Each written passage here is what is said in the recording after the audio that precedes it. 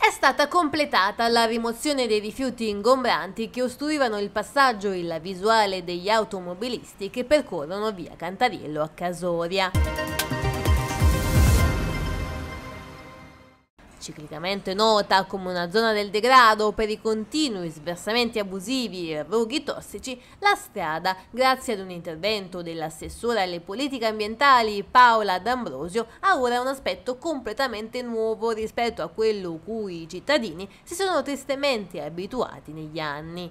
In tanti, alla notizia, si sono chiesti sarcasticamente quanto durerà. Non è infatti la prima volta che l'asse viario viene ripulito per poi tornare ad essere invaso dalla spazzatura nel giro di poche settimane. La recente installazione delle telecamere lascia ben sperare, restano però da risolvere varie problematiche legate a questa zona della città. A ridosso di Afragola, comune che in parte ne condivide le difficoltà, e soprattutto di una zona commerciale in veloce sviluppo che sta vivendo in questo periodo, dopo anni di abbandono, anche la presenza di giovani e giovanissimi nei weekend.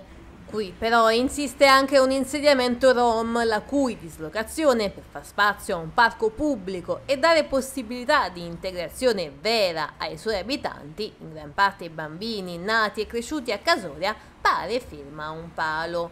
Quanto agli altri spazi di verde pubblico in città, diverse sono le segnalazioni che si sono susseguite anche a mezzo social. Stamattina è stata completata la rimozione delle erbacce in largo generale dalla chiesa, giardinetti che si trovano in via Duca d'Aosta che pur essendo stati oggi ripuliti presentano gravi danni ai marmi e un mai utilizzato anfiteatro per incontri pubblici.